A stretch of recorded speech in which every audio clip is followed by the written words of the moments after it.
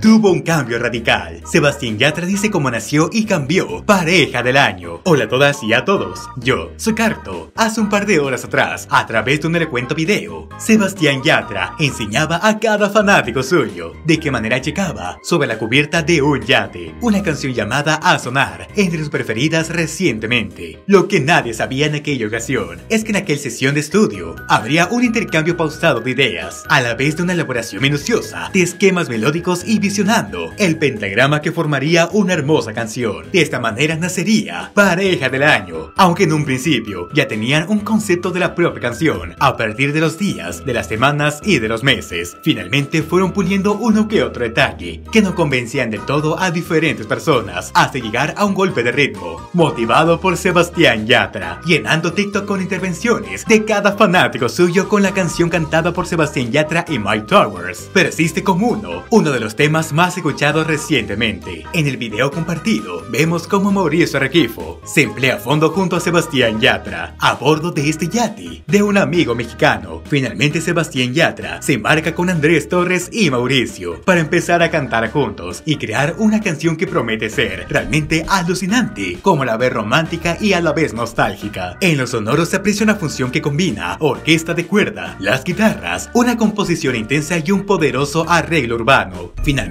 Pareja del Año presenta el actual musical, fusionando géneros pop y urbano, todo gracias a Mike Towers. Finalmente la canción Pareja del Año tomaría un rumbo un tanto diferente, aunque no por ello se aleja de la versión original ni mucho menos, puesto que en un principio, en vez de ser una canción para recordar a alguien que se fue, era como una canción de despecho, mencionando que aquella chica hizo sufrir al chico en cuestión, refiriéndose a Sebastián Yatra. Y a pesar de todo esto, cuando vemos exactamente el video completo, podemos darnos cuenta que Pareja del Año fue creada en su estadía en Miami, Estados Unidos, para ser más empezaría a ser creada en las primeras semanas en las cuales Sebastián Yatra llegaría a Norteamérica para juntarse con amigos suyos, componer y finalmente cantar canciones, entre ellas Pareja del Año. Y para aprovechar el tiempo al máximo, finalmente grabarían el videoclip también en Miami, Estados Unidos, ya que si no lo sabes, el videoclip del mismo se grabaría en todo Miami y finalmente cuando Sebastián Yatra iría a España, será la fecha en la cual se publicaría esta hermosa canción que ha conquistado a cada fanático suyo. Pero dime, ¿tú qué opinas acerca de todo esto? ¿Ya sabías cómo había nacido Pareja del Año y de los cambios que había sufrido en la continuación de la misma? Déjame tu opinión aquí abajito, en la cajita de comentarios. No te cortes, yo soy Carto y has visto solo chismes. Adiós.